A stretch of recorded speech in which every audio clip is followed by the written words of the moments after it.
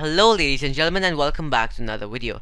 Today I will be showing you how to schedule messages in my WhatsApp API script and I will also be updating the code for it because there were some problems with it and basically if you don't know what I'm talking about it's this video I made up here on how to bulk message in WhatsApp through this little Google Sheet I made. If you haven't already watched that I do recommend you watch it as it's really useful and yeah let's get right into it.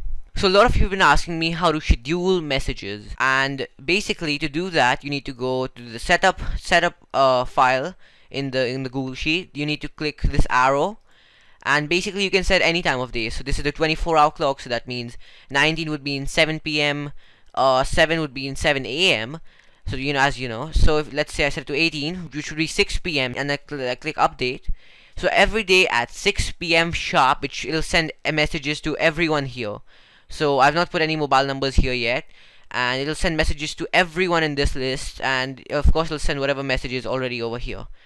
So that's how to schedule messages. I hope this helps. Now let me start with updating the Google Sheets code. So I have made first of all I've made a copy of my Google Sheets because I've not coded for many months so just in case something goes wrong it shouldn't corrupt the entire sheet. So I can test it out here. So first of all I will be adding delay to each messages. So it's less likely for the WhatsApp bots to pick you up. And second I will be making it so that you can send messages to any country code which right now it's only plus 91 so yeah let's get started. So first of all this was actually given to me by a viewer. I'm not sure if they want their name on screen uh, but they just told me to change these three simple things and I hopefully this should work then uh you can only send currently you can only send messages plus 9 one country code. So if I'm correct I should just be able to remove this and it should just uh be able to send it. So let's remove that from here and here. Let's save it and let's test it out. Alright so here's the Google Sheet. So I have two phone numbers here and let me click WhatsApp send now and let's hope this works. I've saved this yeah okay Alright, one's been sent. Okay, the second one's also sent. And there was, I'm pretty sure, a delay of, if not four, then at least three seconds. I'm pretty sure, so that's really good.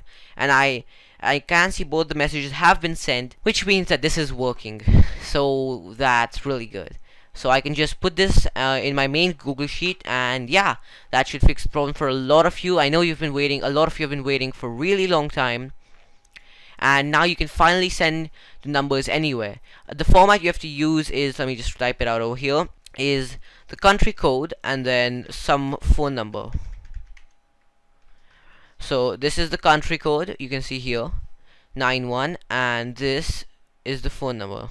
So let's say you have the country code of 1 which is US so you can just use 1 and then the phone number.